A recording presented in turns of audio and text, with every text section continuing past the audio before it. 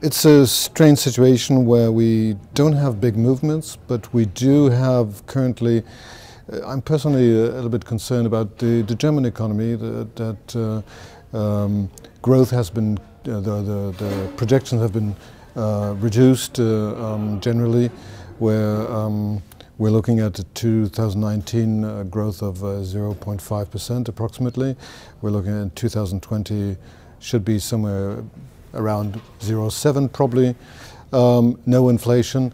So we are looking at, at, an environment where interest rates will remain low, probably.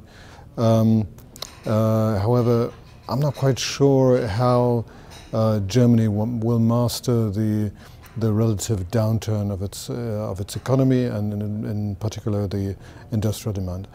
Um, what I would think would be necessary is that the German government would um, uh, take a bit more action on the fiscal side to, to uh, um, stimulate the economy. That would be a, a, great thing.